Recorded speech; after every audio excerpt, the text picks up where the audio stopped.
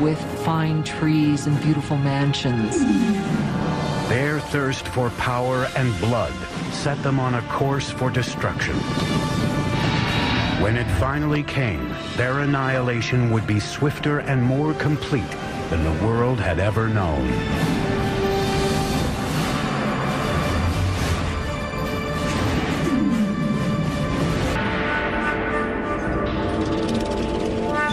Thirteen twenty-five A.D., central Mexico, near modern-day Mexico City.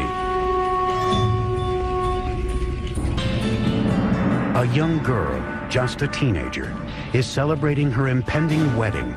She is the daughter of a tribal king, and she is about to join a new tribe that has been a guest of her kingdom. That tribe is now known as the Aztecs. As part of the ritual, five Aztec noblemen lead her to an ancient temple for the ceremony. But as she reaches the top, the noblemen suddenly veer her away from the altar and onto a slab of stone in front of the temple, one used for sacrifice. Each man holds a limb, while a fifth lifts an obsidian knife high in the air. With one searing move, he slashes it through her chest and extracts her still beating heart. That evening, the king is invited to a ceremony to celebrate the marriage. Instead, he finds a priest performing a dance, wearing the still glistening skin of his daughter. As part of the ritual, the Aztecs had flayed her to honor the god of fertility. He saw this and he was absolutely horrified at what he saw, his dear daughter. And so he and his forces immediately chased the, the Aztecs into the lake and onto this island where they sought refuge. The marshy island was an unwelcoming place. Yet it was from here that the Aztecs would beat the odds against them and forge the most powerful empire of the Americas.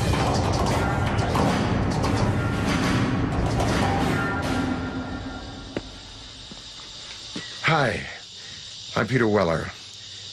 When I think of the Aztecs, I think of an elegant people with beautiful skin and flamboyant headdresses of many colors, and I think of floating cities and a terrific song by Neil Young about Moctezuma and Cortez. But I also think of knives, of obsidian glass ripping into chest cavities and hands, pulling out bleeding hearts and holding them high. Most of the Aztec sacrifices were performed in a temple atop a stone pyramid like this one. The Aztecs felt that without these offerings, the sun would literally cease to rise and the universe would die. Now, Aztec history is a fusion of fact and myth. But what we do know is that this murder, as horrific as it was, not only marked the beginning of the Aztec Empire, it also marked the location from where it would rise. The island the Aztecs were banished to after their disastrous sacrifice of the princess was in Lake Texcoco, the largest of five interconnected lakes covering a valley about 40 by 70 miles. Today, this once vast and open valley is teeming with what is modern-day Mexico City, one of the largest cities in the world. But 700 years ago, the island was so swampy, no one had laid claim to it. Now, as they gazed on the lake, the Aztec leader Tenoch announced to his followers that he had seen an eagle perched on a cactus in the middle of the lake, a sign from the gods that they had found their new home. They would name their city Tenochtitlan. Life is tough for the Aztecs in the early days of Tenochtitlan, but they have a vision. A vision of a powerful city modeled on an ancient and legendary city just 25 miles away. They called this city Teotihuacan, or City of the Gods. We know very little about Teotihuacan because all we have is the archaeological remains. We don't have any writing, we don't have any documentation that, that really fleshes out what went on at this big city. It was in ruins, even in Aztec times, but they believed it to be the stomping grounds of the gods, and the literal birthplace of the sun itself. The place the Aztecs most revered in Teotihuacan was a pyramid that rose above the tree line. It was called the Pyramid of the Sun. The massive Sun Pyramid contains a million cubic yards of earth and stone, with a base roughly the same as the Great Pyramid of Giza in Egypt. The Aztecs believed Teotihuacan was laid out in the image of the cosmos, created by their gods. Now it was this image they would attempt to replicate in the construction of their new city, Tenochtitlan. Taking on the challenge would be an Aztec leader named Acamapichtli. In 1376, he embarked on an ambitious plan to engineer an advanced city at Tenochtitlan. But there was a problem. The swampy islands that they took over needed a lot of work. When they started to build anything, it would begin to subside. There was simply no foundation on which to build. The Aztec solution would revolutionize the architecture of the Americas. They began by anchoring their buildings deep in the ground using a system of pilings made from wood. Workers cut stakes into 30-foot lengths, 3 to 4 inches wide. These were driven into the soft ground to make a foundation. The pilings were often surrounded with volcanic stone to add strength. Masons and bricklayers could then build walls on top of this base with confidence. They have found wooden pylons to hold the foundations of the, of the pyramids. The fact that it didn't sink or the fact that it didn't just topple, I think that's a major feat of engineering. Tenochtitlan was an island city, but the lakes surrounding it were very shallow, sometimes only seven feet deep. The whole thing looked like a giant metroplex floating on a pond. Originally, the only way to get from this floating city to the mainland was by boat. But the Aztecs eventually devised a series of causeways, sometimes 45 feet wide, that would connect their floating city to the mainland provinces. The causeway was supported by strong wooden pilings, the same pilings that supported their temples and other buildings. Thousands of these pilings had to be driven deep into the lake bed, and this presented a logistical challenge that could only be met by a strong, skilled labor force and the best of Mesoamerica's engineers. To build a causeway, two lines of stakes were laid out. Then the space between them was filled with stones and earth until it reached several feet above the water level. This allowed the road to support enormous weight. These causeways were built very straight, uh, they were very wide, with bridges that would open up uh, that connected the city to the north, to the west, and to the south. The roads enabled the Aztecs to transport larger, heavier materials for building. But this presented a new challenge. There were no beasts of burden in Mesoamerica, so everything had to be done with humans no carts, no wheel. Small loads would be carried on the back with a rope hung from the forehead. Large items like stone blocks or sculptures for a temple would be dragged by huge numbers of men pulling ropes, possibly using logs as rollers. Legend has it one stone bound for a temple required a force of 50,000 men to drag it from the mountains on the mainland across the causeway and into the city. The causeways would also present the Aztecs with a new way to get fresh water to Tenochtitlan. In the past, the Aztecs had transported water in canoes from the shore. But a huge boom in the city's population meant they needed a higher tech solution to keep up with demand. They wanted to use water from the springs on the mainland, and so they wanted to build an aqueduct. But the springs were under control of the dominant tribe in the region, the ruthless Tepanecs. The Tepanecs were the controllers or the dominators of all the valley. They had a, a, a very strong empire. So they were the lords of the valley. So the Aztecs were tributary subjects to them. As the Aztec population grew, tensions with the Tepanecs began to simmer. Now the Aztecs decided to issue an ultimatum that could change the balance of power in the region. The people of Tenochtitlan not only demanded that the Tepanecs give them the water, but also demanded that they help construct the aqueduct. The Tepanecs' answer was swift and brutal. The Tepanec king, Maxtla, sent assassins who murdered the reigning Aztec leader in cold blood. This was the final straw. After decades of domination, the Aztecs would finally make their move and wage war against their ruthless overlords. And they would launch a series of wildly ambitious building projects around their growing island city that would earn them a reputation as the greatest engineers of the Americas. The founding tribe of the Aztecs called themselves the Mexica. The country of Mexico gets its name from this tribe. It is 1428, and the Aztecs have declared war on their overlords, a tribe called the Tepanecs. But to defeat the Tepanecs, they would need a little help from their neighbors. The Aztecs approached the nearby city-state of Texcoco, there, a decisive leader was on the rise.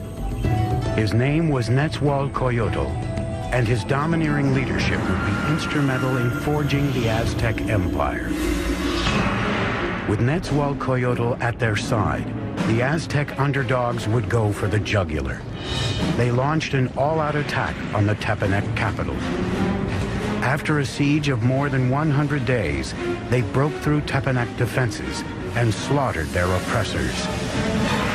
After capturing the Tepanec king, Maxtla, King Nezahualcoyotl personally cut out his heart and sprinkled his blood into the waters of Lake Texcoco. Suddenly, the tables had turned.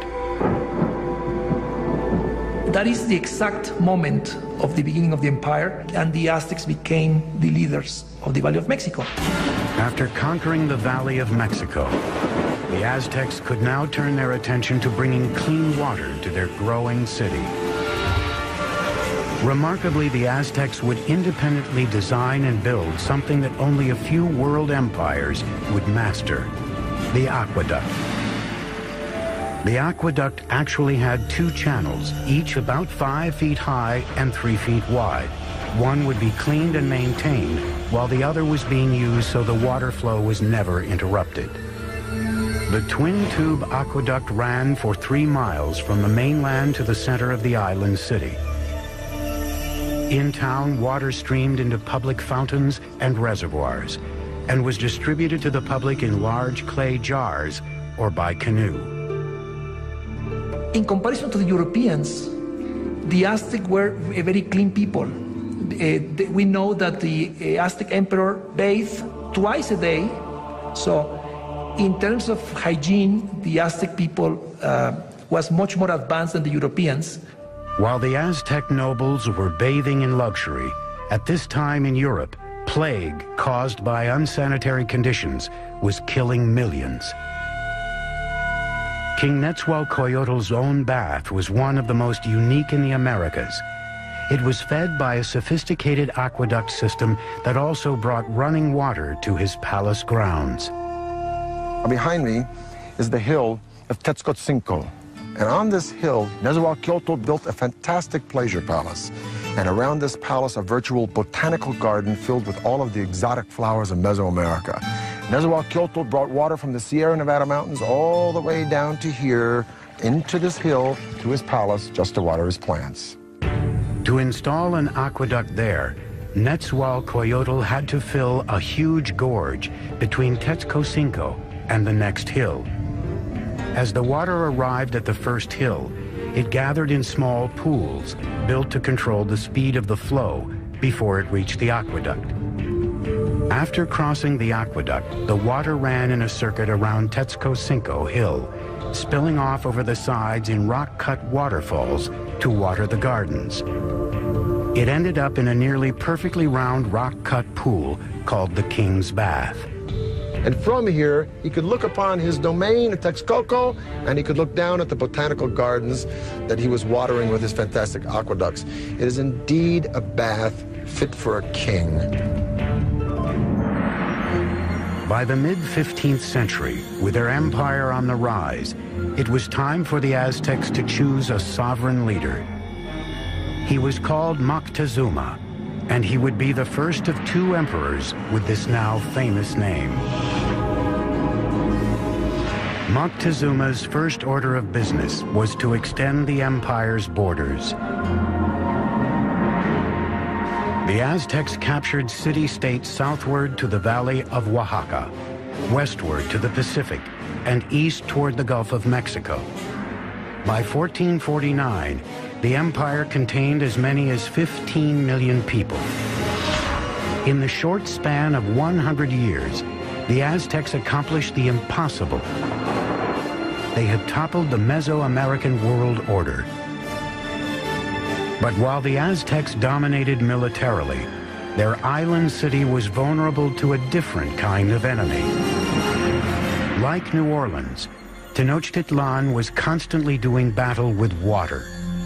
And one of Moctezuma's first projects was to protect his city from the deluge of water surrounding it. This is what is left of Lake Xochimilco, the southern part of Mexico City in Aztec times, the city of Tenochtitlan. This lake, like the other four lakes that surrounded the city, were spring-fed. Thus, there were no rivers or streams into which it could drain. And if it rained hard enough, the water would rise up and sweep over the land and into the city itself. And this is exactly what happened in the mid-1400s when a flood of catastrophic proportions swept into Tenochtitlan. The city and the empire it commanded were almost completely destroyed, and the Aztec civilization had to once again rely upon the genius of its engineers, and one engineer in particular. Moctezuma enlisted the help of his old ally Nezahualcoyotl to protect the city he was rebuilding from the lake. Nezahualcoyotl would design a solution that would make him the greatest engineer on the continent. His plan was to create a safe zone around the city with a huge dike that would protect Tenochtitlan and its inhabitants. It was designed to be larger than any earthwork anywhere in the Americas at the time, running for 10 miles just east of the city from the southern edge of the lake across to the north. The walls were a wickerwork construction made of sticks, reeds, stone, and earth. Since the lake was shallow, the dike was only about 12 feet in height, but some 27 feet wide. Nezahualcoyotl fitted the dike with sluice gates, most likely wooden doors that would be raised or lowered to control the water level behind it. The dike also served another purpose. It protected their water supply. It was important to build some sort of protective mechanism to keep salt water out of the freshwater western part of the lake. An army marches on its stomach. So said Napoleon. Now, an ample food supply for civilians is a no-brainer in the critical development of any civilization. But the Aztecs perfected a unique method, not only to provide a substantial food supply for its civilian populace, but to fuel the military expansion of its empire. This revolutionary engineering was called chinampas, a system that allowed them to literally create new land to farm and to live on. If you're going to have a city of any size, you have to provide room for them. And so what they did was build up these chinampas in the lake bed. Basically, a chinampa is an artificial island built in the lake they looked like narrow football fields, about 300 feet long by about 30 feet wide. A chinampa was built by weaving a web of sticks floating in the water and piling reeds on top of them. Mud was then scraped from the lake bottom and piled atop the reeds to form the chinampa. It took four to six men eight days to build the average chinampa. They were connected to the city by massive navigational canals that would take thousands of men months to build. A chinampa like this one could produce up to seven crops a year, whereas a farm on the mainland could yield one, maybe two, maybe three at the most. As a crop was ready to harvest on a chinampa, seedlings from another would be sprouting out of mud that would be spread on a boat adjacent to the chinampa. Then when the seedlings were ready, they'd be transported to the chinampa, and this cycle would be repeated over and over and over again on hundreds and then thousands of chinampas. Now, it was this technology that transformed Tenochtitlan from just another tribal town in the 14th century to a dominant and thriving city-state. With their city's infrastructure in place and vast lands under their control, the Aztecs would push the boundaries of their empire further than ever before. They'd create a far-flung network of roads, Aztec superhighways. But as the empire grew, so too did their practice of human sacrifice. Soon, rivers of blood would be flowing through the streets of Tenochtitlan. The average life expectancy of an Aztec citizen was 37 years. Today, Tenochtitlan, the capital of the Aztec Empire, is gone, buried under modern-day Mexico City. But 700 years ago, it was a shining capital on the rise, built by advanced engineers and led by larger-than-life emperors. By the late 15th century, the Aztec population had exploded. Their next great emperor would launch a series of conquests that would rival anything in world history. His name was Ahuitzotl, and he would prove to be an even greater warrior than his grandfather, Moctezuma. By 1502, Ahuitzotl had conquered territory from Mexico's Pacific coast and pushed the empire as far south as Guatemala. His reign was kind of like a golden age. He was a king that opened up transport routes to the coastal areas and to lowland areas where the Aztecs got their greatest luxuries, these shimmering tropical feathers, the gold, the precious stones that the, the nobles and rulers wore as symbols of their station in life. To transport riches to the heart of the empire, the Aztecs constructed a network of superhighways throughout central Mexico.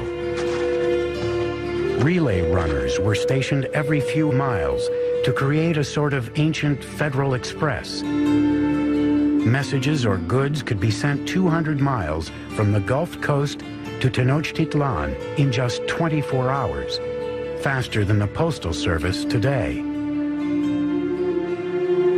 With the empire at its height, the Aztecs under Ahuitzotl embarked on their greatest construction project, a massive pyramid at the very center of Tenochtitlan, the symbol of their absolute power. It was called the Templo Mayor, or Great Temple. The base of the pyramid was 240 feet deep by 300 feet wide and rose to a height of 15 stories. There were at least 117 steps in two staircases climbing 200 feet, leading to twin temples to honor the gods of rain and war. The temple was rebuilt on the same location seven times, beginning in 1325 with the city's founding. As the empire grew, so did the pyramid. Each stage was simply built right on top of the stage before. The Templo Mayor was built mainly uh, with a stone called tezontle, that is uh, volcanic stone. It's a very light weight stone that would uh, prevent the sinking of the, of the temple. For floors and walls, the Aztecs applied a lime plaster, which was a form of concrete. Some examples found today remain as hard as modern concrete, even after 500 years. Aztec workers labored for decades to complete their monument to the gods. The temple remained buried until 1978, when power company workers digging a trench accidentally uncovered a huge carved stone and discovered the temple ruins next to it. The disc, 11 feet in diameter, weighs 8 tons and depicts the dismembered body of the goddess Coyolxauhqui. Coyolxauhqui was the moon goddess, but her brother murdered her because she became pregnant in a very shameful way. Now, the Aztecs weren't prudes by any means. Matter of fact, nobles had many wives and concubines, but amongst the commoners, particularly women, adultery was a no-no and severely punished, often by death. So according to legend, the moon goddess's brother cut her head off, and after he decapitated her, he shoved her body down a hill. The Aztecs reenacted this killing literally and frequently in festivals throughout their calendar year. They would decapitate their victims at the top of a pyramid like this and then push the carcasses down the steps to the great stone at the bottom. For the Romans, their most precious treasure was gold. For the Egyptians, it was the afterlife. For the Aztecs, it was human blood. They felt a sense of reciprocity with the gods. So they needed to give a thanksgiving to the gods, giving the most precious thing they had that was human blood. The Aztecs called it precious water. And they believed that if the gods didn't receive it in massive quantities, the world would end in apocalypse. It was common practice to adorn the walls of the insides of the temples with fresh human blood. And the smell must have been appalling.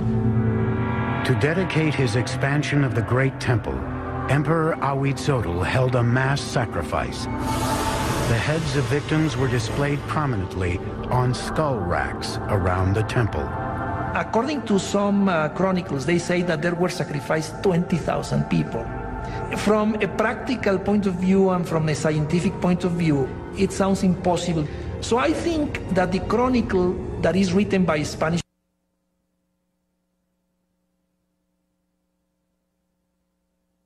sources is basically telling us that to their eyes they were many. As Ahuitzotl's reign continued, the bloodletting skyrocketed.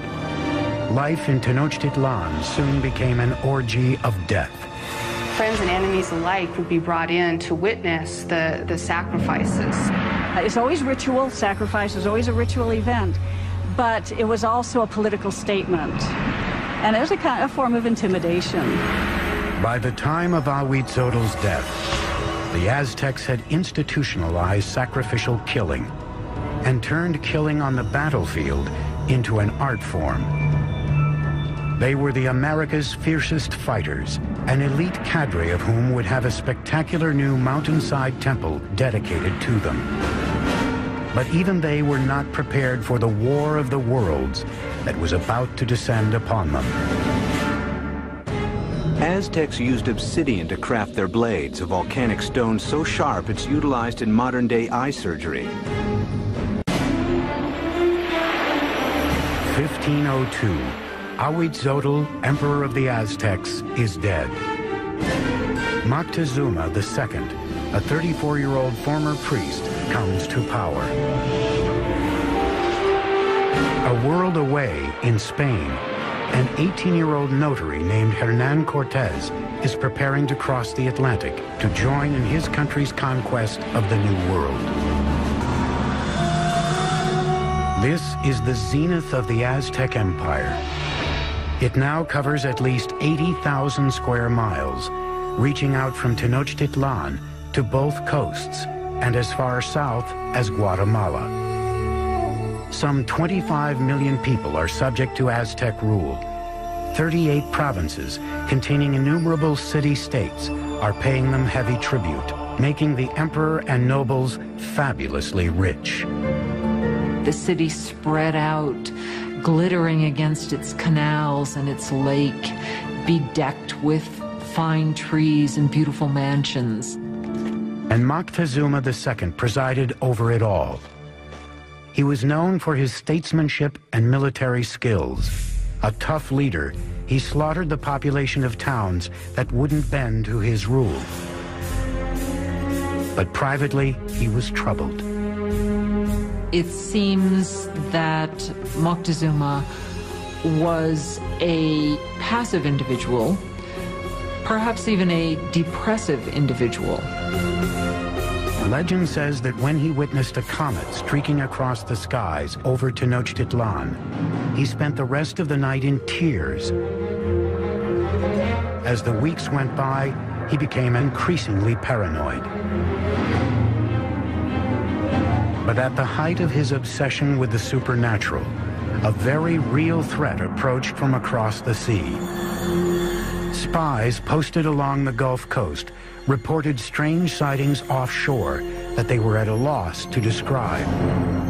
They never have seen a boat, so they didn't even have a word to, to, to, to describe that. So the Indians refer to those boats as mountains that move in the water. In 1519, after sailing from Cuba, Cortez landed with 11 of these floating mountains and 500 men on the Gulf of Mexico, 200 miles southeast of Tenochtitlan.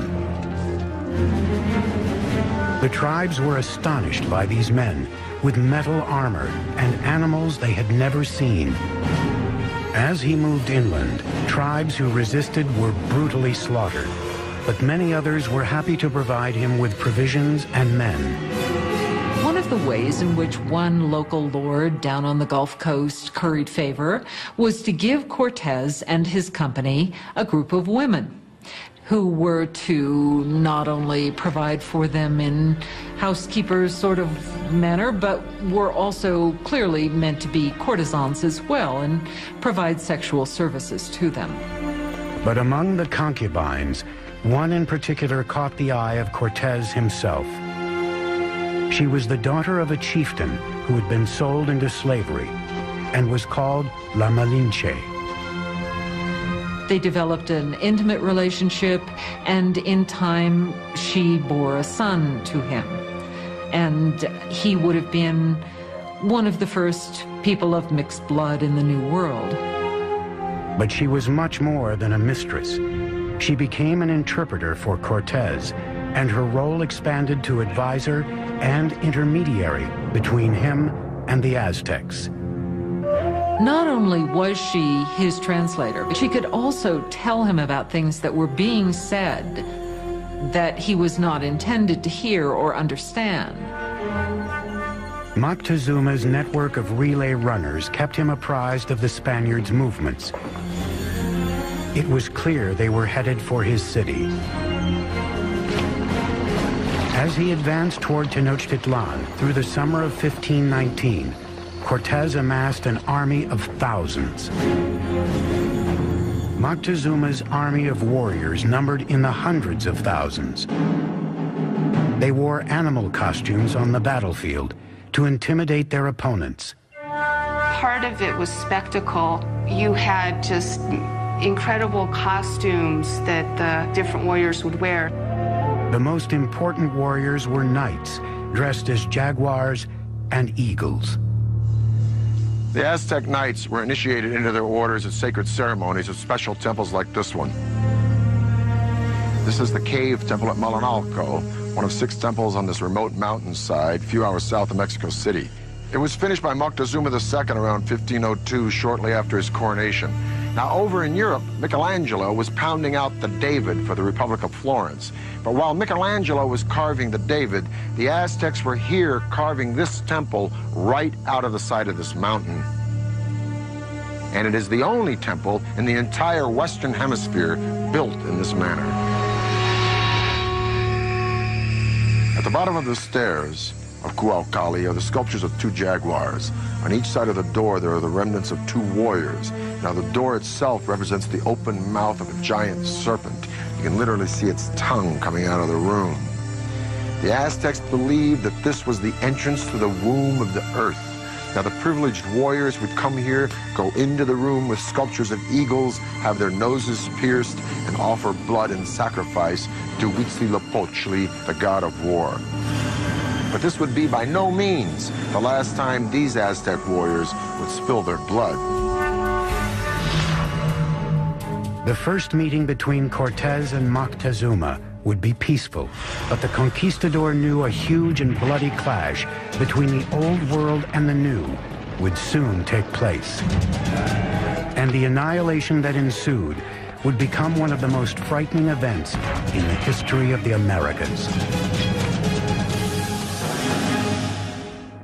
Cocoa beans were so valuable a commodity to the Aztecs, they were even used as a currency.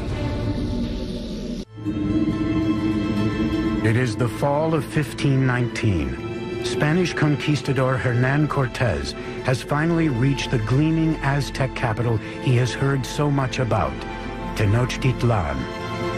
When the Spaniards first saw Tenochtitlan, they thought they were in some kind of an enchanted vision. They thought they'd entered some kind of a dream. A massive force of native warriors, allied against the Aztecs, accompanies him as he advances on the main causeway into the city. The meeting of Cortez and Montezuma on a causeway approaching Tenochtitlan had to be one of the most remarkable events in world history. It's really a, a, a meeting of two different worlds. And Cortez offered his hand, but the minute he started to do that, to actually touch Montezuma, the noble attendants around Montezuma pushed Cortez away and said, no, no, no, that's, that's a total indignity. Nobody touches Montezuma, the great lord of the land. The meeting of the two worlds was peaceful, but fraught with tension. Moctezuma by this time had become increasingly impulsive and prone to bouts of hysteria. So the encounter was an, an encounter of, of uh, sensing the, the, the forces no, in each side. But the Aztecs had a diplomacy and a warfare system that was somewhat naive in comparison to the very tricky and sly system of the Europeans. Moctezuma invited the Spaniards to stay in one of his palaces. It would prove to be a catastrophic mistake. As the Spaniards entered the city, they were so awed they thought they were dreaming. At the heart of the city stood the emperor's colossal palace. The palace of Moctezuma II was a massive complex spread across six acres near the Great Temple. One of the Spaniards noted that every day at Moctezuma's palace, 600 nobles gathered, and they would hear the word of their emperor. Moctezuma received the Spaniards in a large reception chamber just beyond the main entrance, designed to make the emperor appear omnipotent. But Moctezuma's palace would be the last ever built by the Aztecs.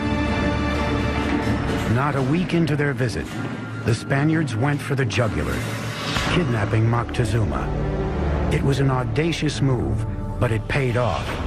The empire appeared to be theirs. Even though Moctezuma was still the official leader of the city, it was he was really for some time nothing more than a mouthpiece for Cortez. For six months, tensions within the walls of Tenochtitlan slowly simmered. Then in the spring of 1520, it all came to a head. One morning, Spanish soldiers interrupted a sacred sacrifice and slaughtered those taking part. The move sparked an uprising. For the Aztecs, the Spaniards had committed an unspeakable sacrilege. The city became engulfed in chaos as the Aztecs marched on Moctezuma's palace. Moctezuma gets up on the top of the palace and tries to talk to the people and calm them down, and by now they're just not having any of it. Moctezuma had become nothing more than the Spaniards' puppet, a betrayal so great in the eyes of his people, they pummeled him with rocks and arrows. Shortly after, Moctezuma's lifeless body was tossed from the palace walls. Whether he died at Spanish hands or from injuries inflicted by his own people may never be known. And the Spaniards at that point decide this would be a, probably a good time to leave the city. On the night of June 30th, 1520, the Spaniards attempted to escape under cover of darkness. But they can't separate themselves from the plunder that they've gotten so far, so they're weighted down with all of the things that they want to take with them. They were easy targets for the Aztec warriors who caught them on the causeway. Bodies quickly piled up in the water. 400 Spaniards were killed along with several thousand of their Indian allies. That escape has, has come to be called the Noche Triste, the sad night. Cortez and a few others managed to escape with their lives.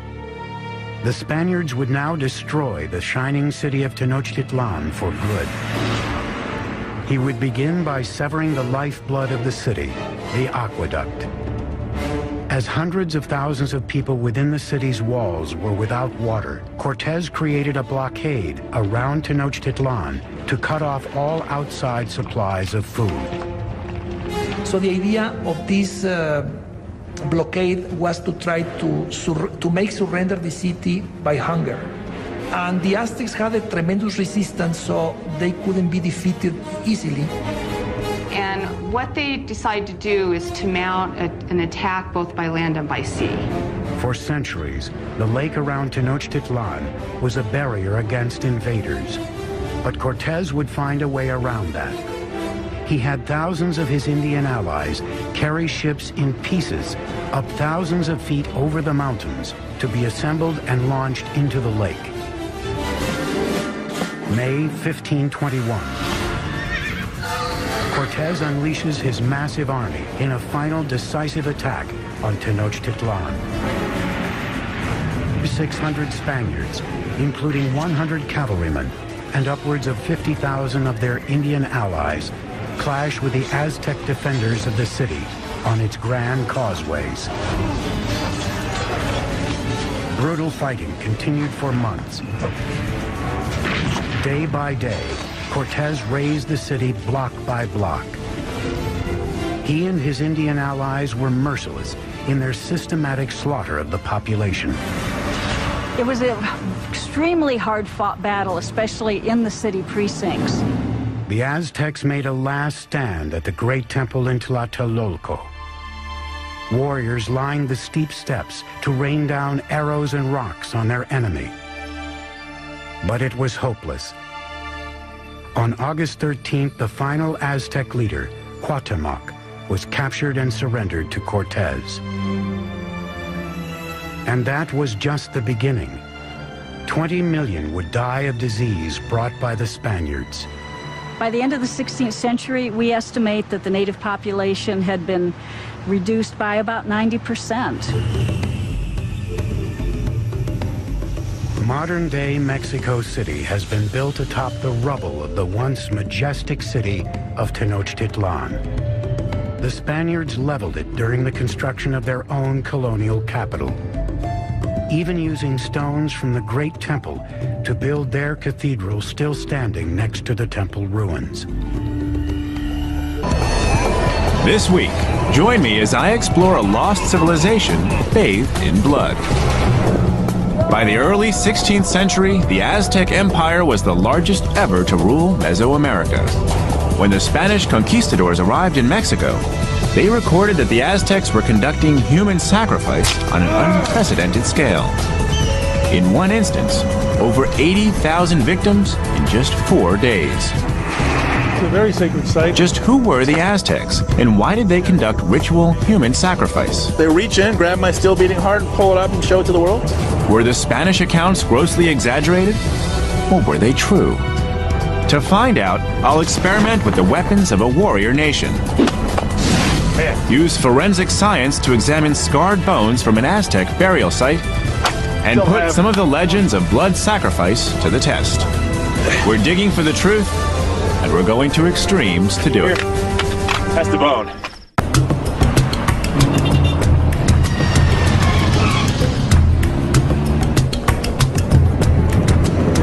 This is Zocalo Square. Today, it's the heart of Mexico City, and I'm told the largest square in Latin America. 500 years ago, this was the center of the Aztec Empire, a civilization synonymous with human sacrifice. Hi, I'm Josh Bernstein. I've come back to Mexico to explore whether or not the horrific stories of a culture soaked in blood could possibly be true. The Aztecs became associated with human sacrifice thanks to these vividly illustrated Spanish chronicles. Created in the 16th century AD, during the Spanish conquest of Mexico, they record a culture that celebrated extreme ritual violence. A society where Aztec priests tore out the hearts of sacrificial victims and painted their temples with their blood. But are these accurate descriptions of real events? Or merely the propaganda of a conquering power? To find out, I'm meeting up with Dr. David Carrasco of Harvard University's Divinity School. He's been studying the Aztecs nearly all his life. So we're just a stone's throw from the main square. Yes, and we've arrived right at the very foot of the great Aztec temple. This is one of the greatest finds in all of the Americas. And yes, it uh, really represented for the Aztecs the center of not only the Aztec Empire, but the whole cosmos. You can compare it to something like Mecca or the Vatican today. This was the, the holy of holies in the Aztec world. That may be, but today the site appears sparse and incomplete. Today, this is all that remains. This is all that remains because what happened was when the Spaniards came, they saw this as a house of evil idols, and they saw the building itself as an evil building, and they destroyed the temple, knocking off the top 85, 90 percent. So, so really, what we're seeing here is just the tip of the iceberg. It is the tip of the iceberg. David tells me 95 to 98% of the Aztec Empire remains undiscovered. Although much still lies beneath Mexico City, 30 years of excavations at the Templo Mayor have given archaeologists new insights into the world of the Aztecs and how they built their holy city. We can see a historical narrative in stone. What the Aztecs did was take volcanic rock, put it together with their mortar to build uh, walls that really stood the test of time. They also built walls that weren't so heavy. And the reason they wanted to not build heavy walls was because they actually built this city on a lake, a very soggy lake, in fact. Why in a lake? The answer can be found in the icons on the Mexican flag. According to Aztec legend, these icons come from ancient divine instructions. The Aztec were to migrate and resettle, building a new capital at the place where they saw an eagle perched on a cactus while eating a snake. That place turned out to be in the middle of a lake. Through crafty engineering, the Aztecs turned the swampy soil into solid, buildable land. They called their new city Tenochtitlan. It grew to become a thriving metropolis. At its height, in the middle of the 15th century AD, it was home to 250,000 people, as large as any European city of the time. When Hernan Cortez and the Spanish conquistadors first laid eyes on this floating capital, thought they were dreaming. But as Cortez and his army entered the city, the dream became a nightmare. According to their accounts, the Aztec capital was a city where intense ritual violence was an everyday event. One thing that's fundamental. David explains that the topic of human sacrifice is a sensitive subject for many Mexicans today. They question the accuracy and savagery of the Spanish accounts. Still, archaeology has uncovered some undeniable and uncomfortable truths. This is the precinct of the Eagle Warriors. We enter a section of the Templo Mayor to see where Aztec warriors ritually prepared for battle. In the, in the Aztec world, there were two groups of military heroes. One were the Jaguar warriors, but the most powerful were the Eagle warriors. And the excavation of the great temple led to the discovery of this place, which was where Eagle warriors were initiated.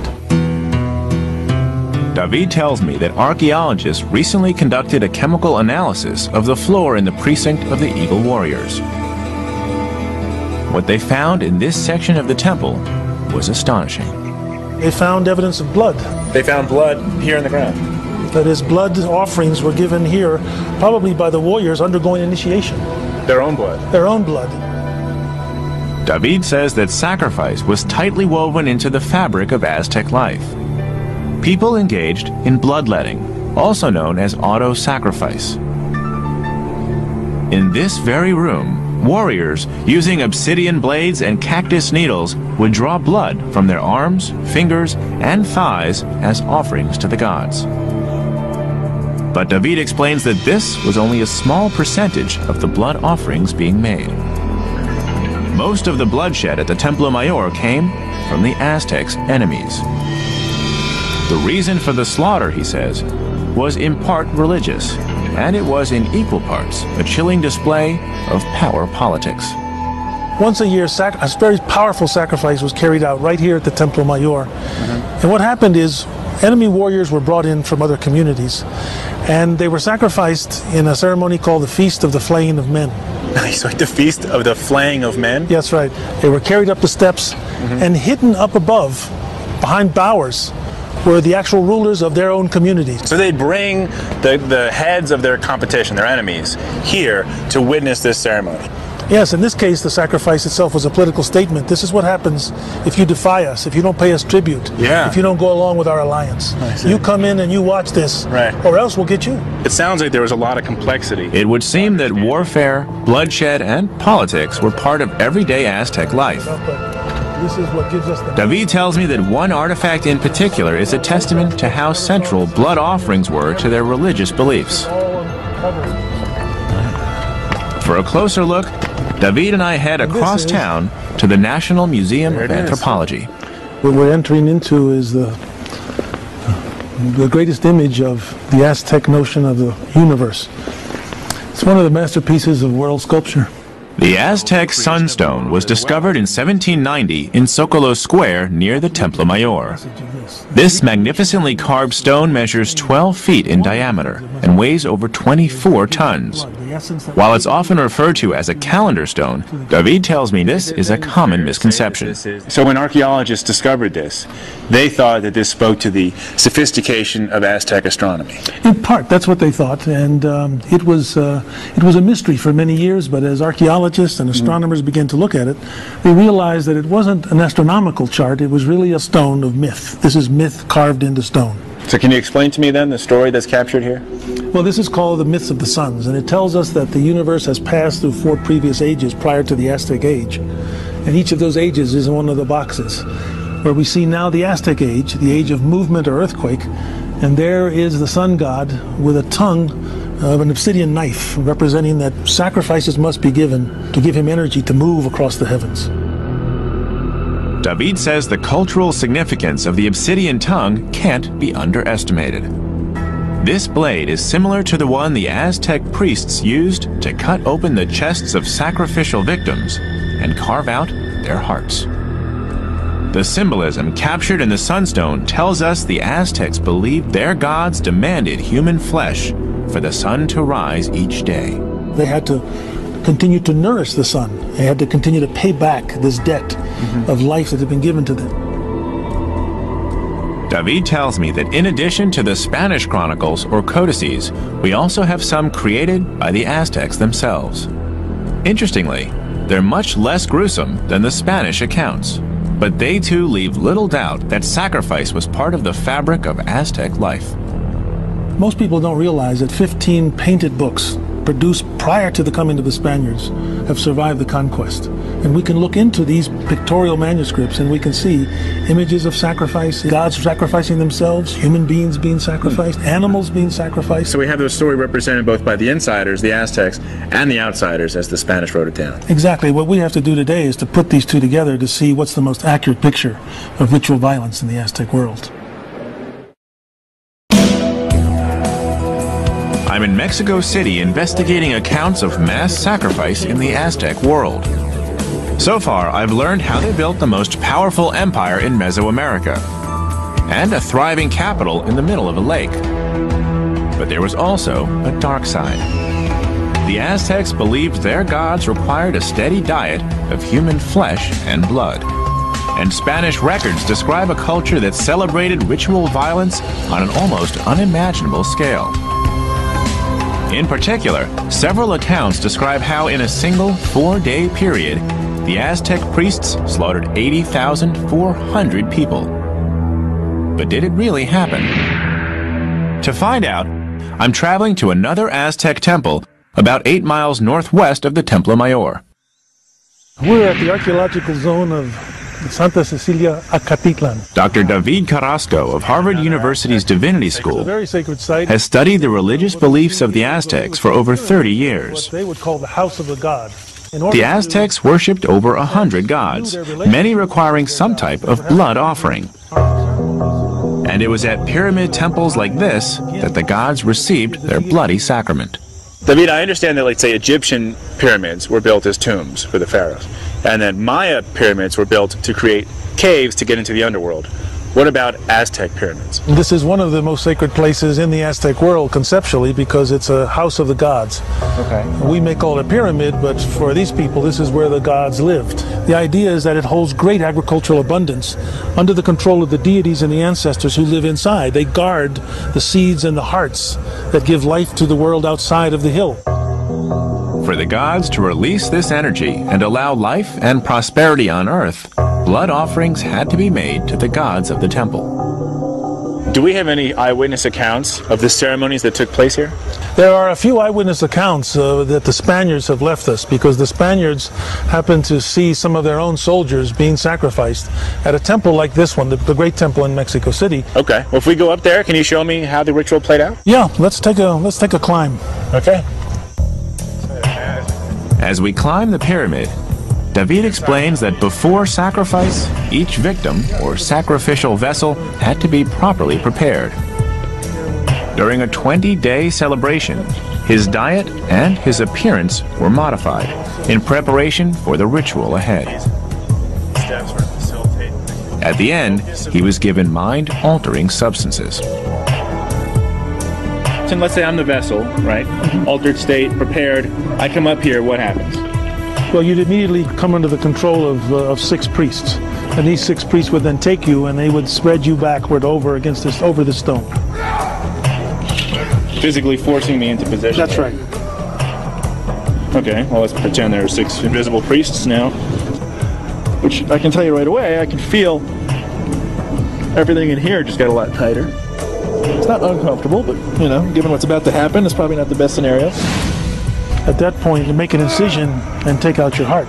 Like in the movies, they reach in, grab my still beating heart, and pull it up and show it to the world? Uh, and they would then take the heart and they would offer it to the four quarters of the universe.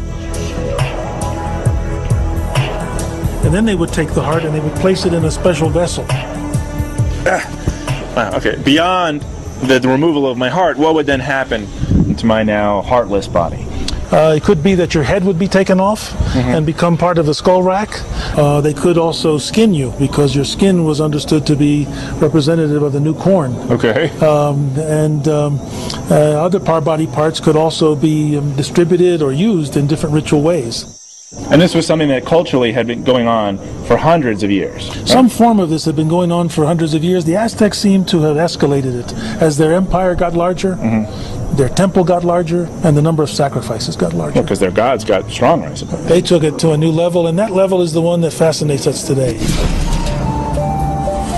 So far, the accounts of the Spanish conquistadors appear to be holding up. But did the Aztecs really sacrifice tens of thousands of people in a single day? If so, how did they capture and then control so many people? Let's go find out. The Spanish chronicles paint a frightening portrait of the ancient Aztecs. At face value, they offer powerful evidence that large armies and fearsome warriors thrived under Aztec control. But how much of this is self serving Spanish propaganda? And if the Aztecs did possess large armies, did they also possess the war machinery needed to capture tens of thousands of captives at a time? I decide to take a look at the weapons and tactics of the Aztecs. I'm going 1,100 miles north of Mexico City to the small town of Sonoita to meet my old friend Bob Perkins. His nearly 30 year study of ancient weaponry has earned him the unique nickname Atlatl Bob. Hi, Bob. Hey, John. How are you? Hey, how the hell are you? Good to see you again. Uh, yeah, so It's been a while. Well, you brought some great stuff here, huh? Yeah, brought some atlatls and darts Okay. for us to play with out here. This was their preferred weapon for warfare. Your fingers would go in the finger loops here. Bob tells me that one of the principal weapons of the Aztecs was the atlatl, You'd engage. and the evidence comes not from the Spanish sources, but from the Aztecs themselves. Their gods are often depicted holding this weapon with its long arrow-like projectiles called atlatl darts. And they do look like super arrows. Right, it it's literally an arrow on steroids. Yeah. And it looked more like this back right, in the day. right. Here we got a, a nice authentic example. This is made out of river cane, Mm-hmm. which is indigenous to North America. In terms of throwing it, you just you'd bring your arm back Right. and launch the dart. Launch it much like a tennis serve. Well, then how about we put all this together and see how the atlatl actually works. We always want to be careful. These are deadly weapons. Give you a little demonstration of how far these things can go. You can do 100 yards with this easy. And Okay. it does like between 120 and 140 feet per second, like 80 miles an hour. Clearly, these long distance projectiles would be a concern for those on the receiving end. Go. Where do I want to let go? Sort of- Now it's my turn to throw the atlatl. And once, once you push, the momentum holds it in place. Right. Atlatl away. Mine went more up than out. My first attempts to throw this lethal dart are, well, pathetic. And I assume that, like any weapon, with time, the hunter or warrior would gain expertise in distance and control. Right.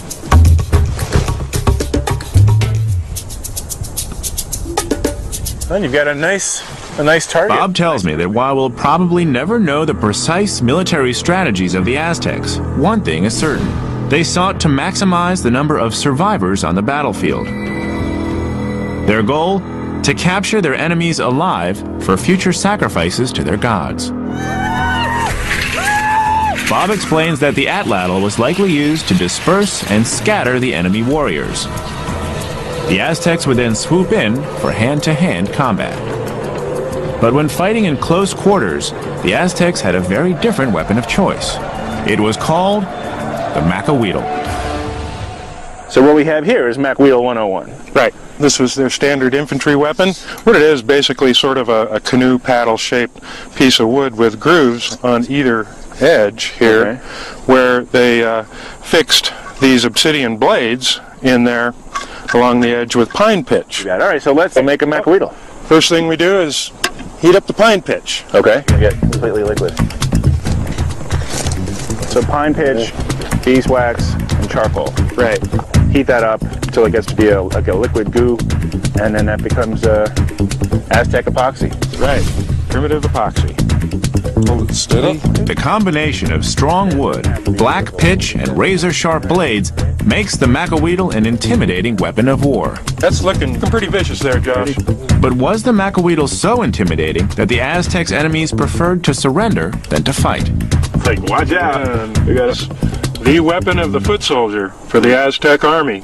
This is standard issue. Yeah. Here you go, grasshopper. Today ah. you are a man. Oh, thank you. I have Macwheel. Bob's hung up a few watermelons so we can test the weapon's sharpness.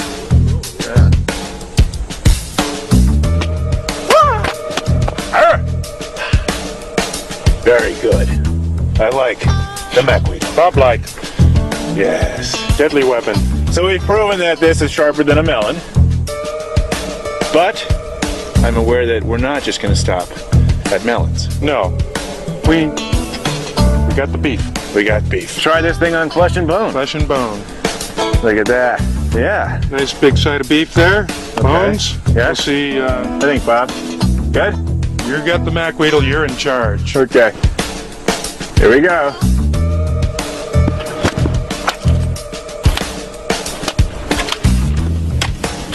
More effective. Switching sides.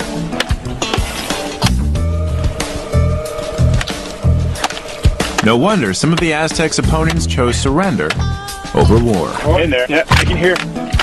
That's the bone. Effective, you think? Oh, highly effective. Slightly.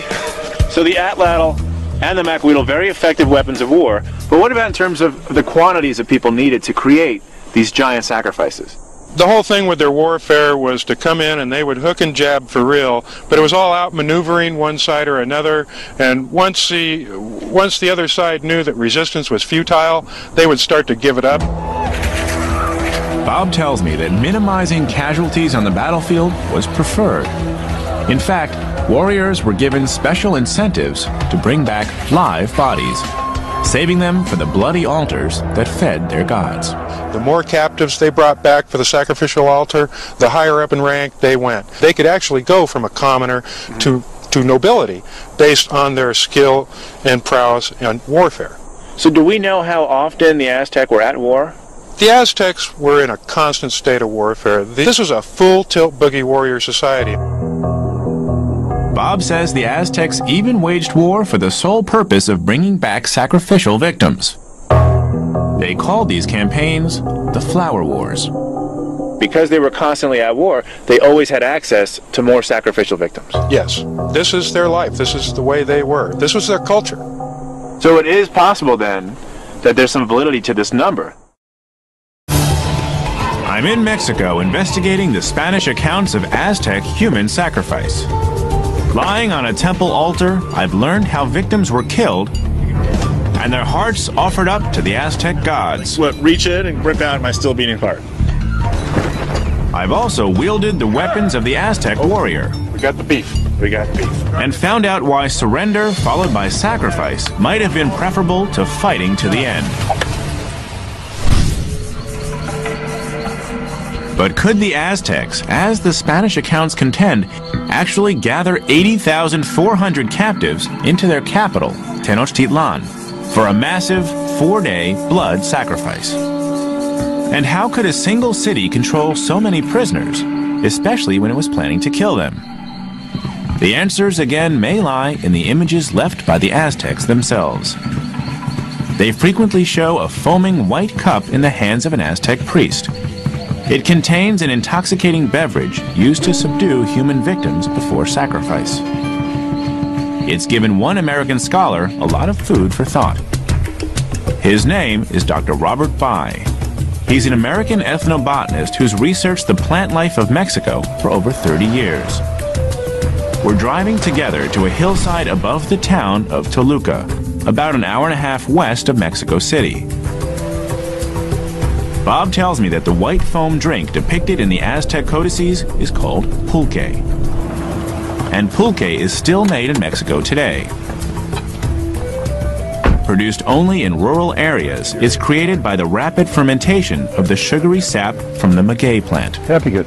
Hola, Don Juan. ¿Cómo está? Quiero presentar a Josh. Mucho gusto.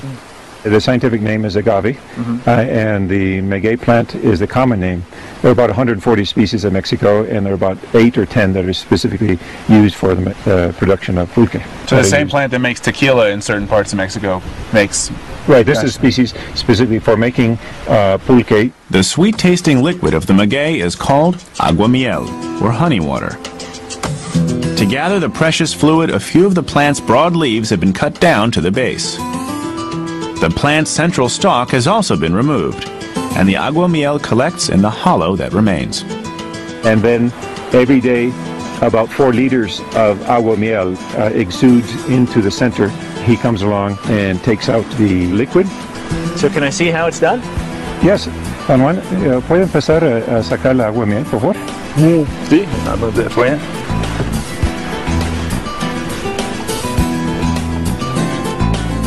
if you can see this, but the bottle is filling up with liquid. Depending on size, one plant can be harvested daily for up to four months. So this is the aguamiel in here now. Right. And now that he's suctioned that off, he's going to now put it into then put it in there. into his. That's pretty quick. Next phase, turning fresh aguamiel into a frothing brew of pulque. I'll let him lead the way. For that, we head to Don Juan's home to see how it's done.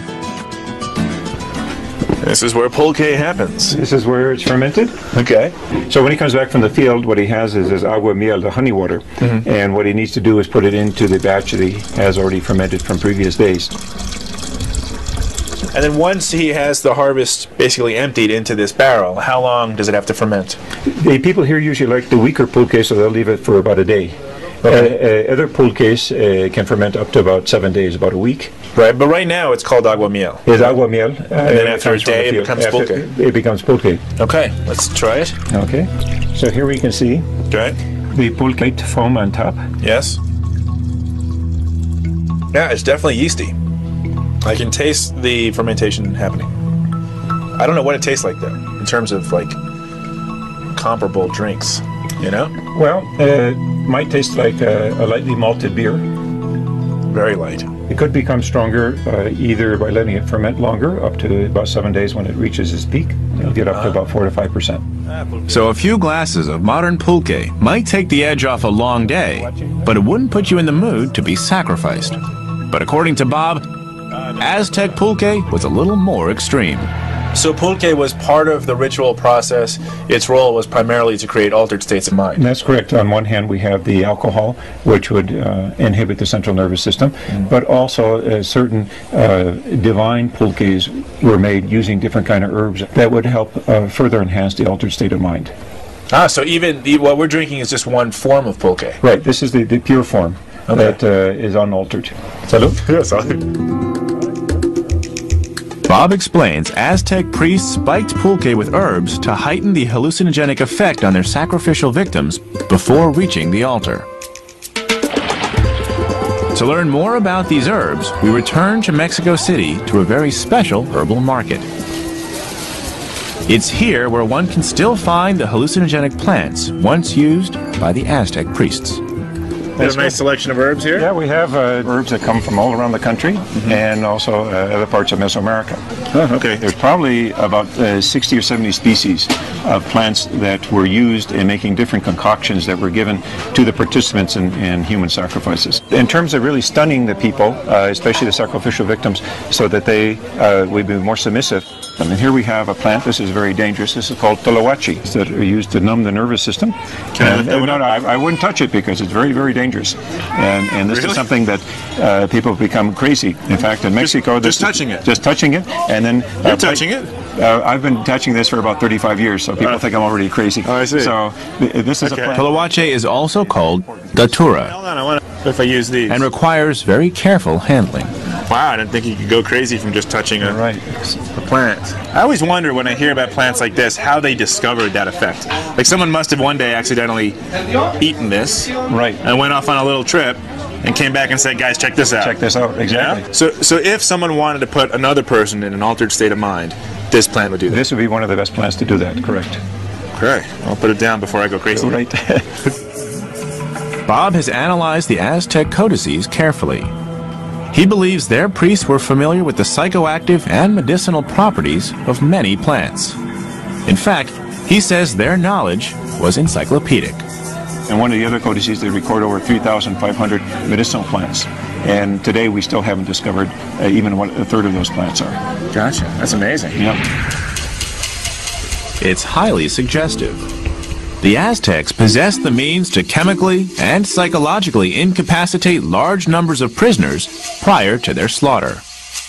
But was it on the scale the Spanish alleged?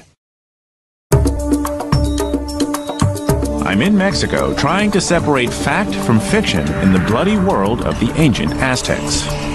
I'm investigating 15th century Spanish allegations of a mass sacrifice of human captives an astounding 80,400 victims in just four days. I've tested the Macuahuitl, their ferocious sword. And I've sampled pulque, the potion they use to incapacitate their prisoners. Now it's time to review the forensic evidence.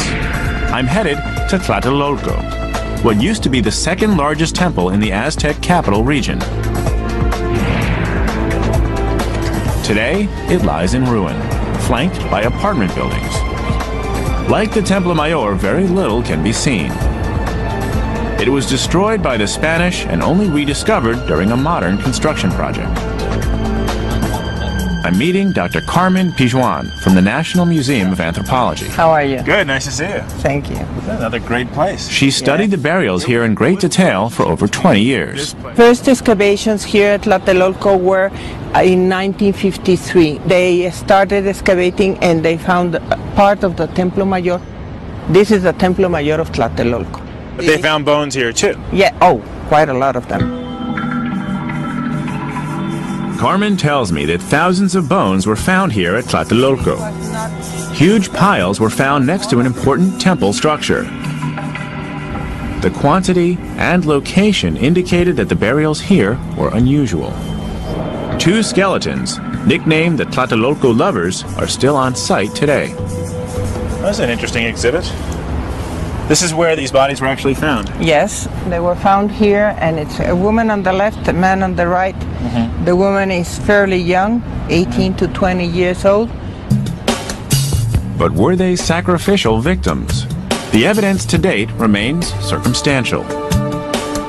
However, the sacrificial offerings found at Tlatelolco are among the largest collections of human remains recovered from the Aztec Empire.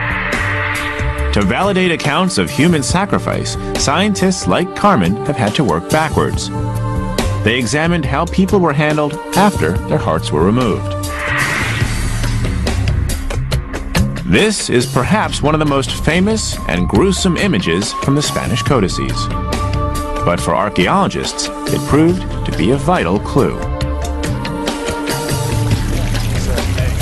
To find out why, Carmen invites me back to her lab at the National Museum of Anthropology. All these boxes have uh, skeletons from uh, different parts of Mexico. Cranios. And you can put it here. So these came from where we from just were? Tlatelolco. Yes, these skulls are from the Tzompantli, which is the skull rack. Hmm. And uh, in Tlatelolco, 170 uh, skulls were found from the Tzompantli. Okay. So this is what you're talking about, this hole here. Yes, and this hole was done by impacts. It- These skulls are among the greatest discoveries made at Tlatelolco. Archaeologists now possess proof that the Aztecs built skull racks from the craniums of their victims. uh, they put a stick, like if it was a necklace, that- The point was to put it on a rack. on a rack. Further study of the skeletal remains from Tlatelolco tells us how the rest of the body was ritually processed.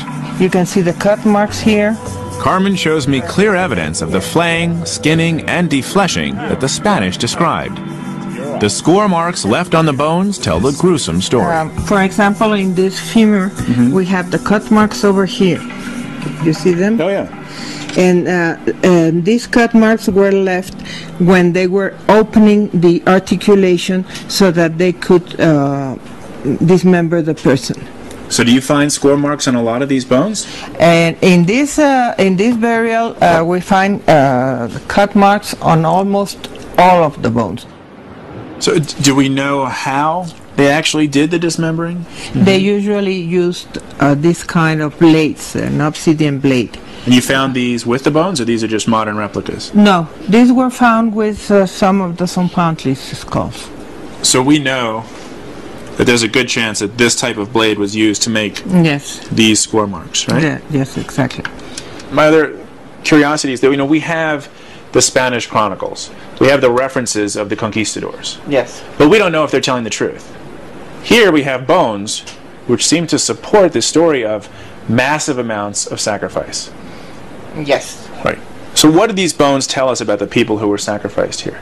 They are very young people, and uh, 75% are males and 25% are female. Carmen tells me these sacrificial victims were mostly males of warrior age from areas beyond Tenochtitlan. I've already learned that warfare was the vehicle by which Aztecs captured their future victims. Here is physical evidence to support this. The end was not to kill mm-hmm. the warrior, but to captivate it mm-hmm. to be sacrificed. And there's more. Though most of the bones appear to belong to warriors, almost none bears battle scars. It's yet more proof that the Aztecs really did possess the ability to overwhelm their captives. Physically, psychologically, chemically. It seems these people barely resisted going to the altar. This building is a repetition of an ancient myth. I'm in Mexico investigating the Spanish accounts of Aztec human sacrifice. So far, I've examined the motives behind the violence. And I've looked at the bones left over from the slaughter. The point was to put it on a rack. On a rack. I've handled the weapons used to capture the Aztecs' victims. And tasted the potions that subdued them. Salud. The evidence so far is compelling. There can be no doubt the Aztecs practiced human sacrifice on an unimaginable scale. But one big question remains. The Spanish wrote of a four day orgy of violence that left 80,400 human beings dead. Was it an exaggeration or the truth? Today, Mexico City covers 98% of the Aztec capital. And the victims' bodies cannot be easily located and counted. But there is another way to creatively put the story to the test. As you can see, I've come to a meat processing plant, and if you're wondering why, 80,400 people sacrificed in just four days seems like a tremendous quantity. So I've come here to the largest plant in Latin America to see if that much flesh and bone can actually be processed using modern technology.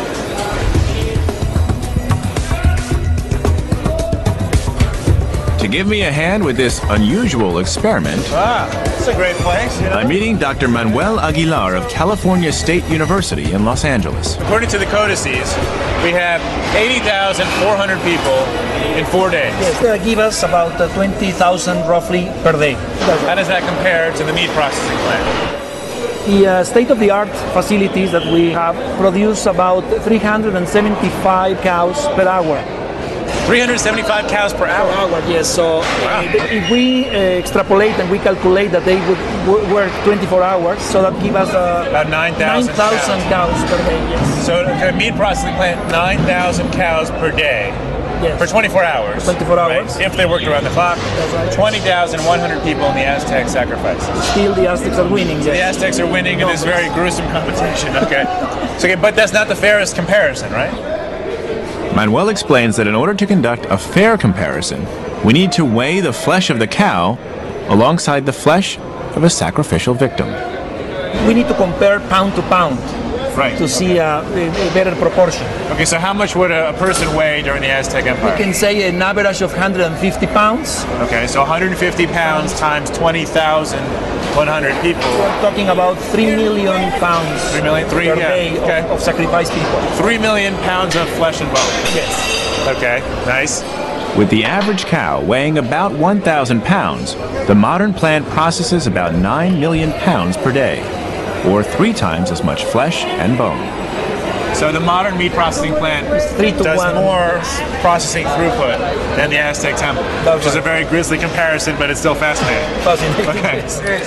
Okay. But I want to know, using Aztec blades, would it have been possible to dismember and process even a third of what a modern plant does today? Put on a coat. Yes. In order to simulate the bloody aftermath of a human sacrifice, Manuel has set up a demonstration. Show me the beef. Okay. Yes. How much does this weigh? About uh, 150 pounds. So that's about a person. Yes, it, it, it- here. Perfect. And let's do it. Okay, so after sacrifice, now dismemberment. I'm using a stone blade to cut the flesh off this carcass, This is doing a pretty good job. Yes. just like the Aztecs did. This specimen may be meatier than a human, but there's nothing like cutting some muscle and severing a few tendons to get a sense of the tremendous effort and manpower involved. Watch your fingers. Yeah. Oh, he's got good articulation. I tell you, it's a lot easier slicing watermelons. I'm sure many vegetarians are now in shock and awe.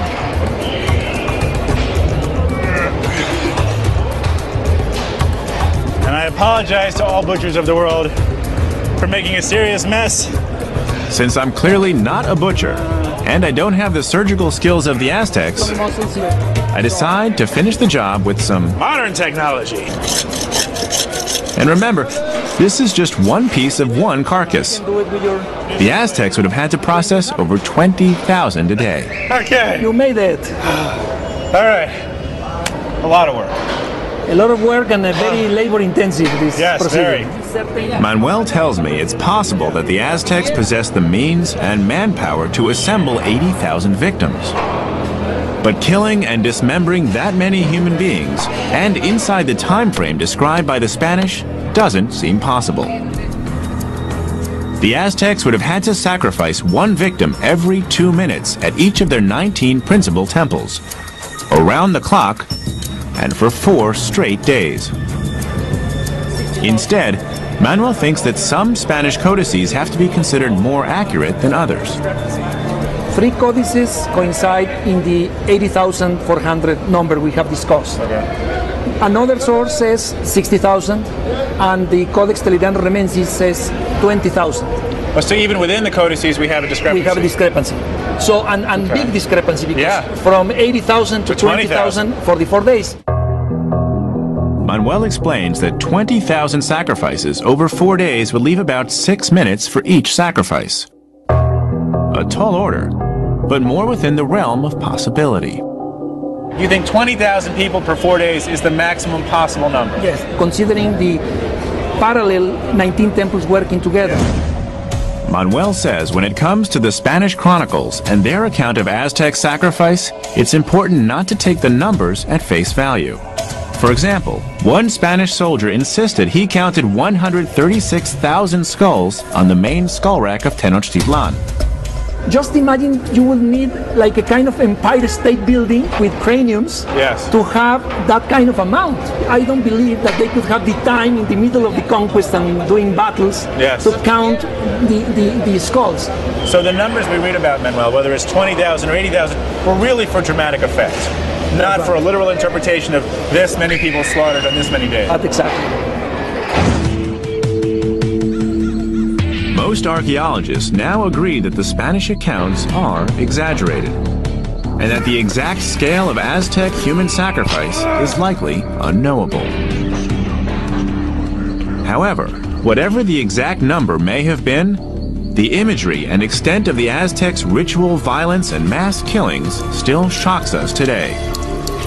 The blood on their altars may no longer feed their gods,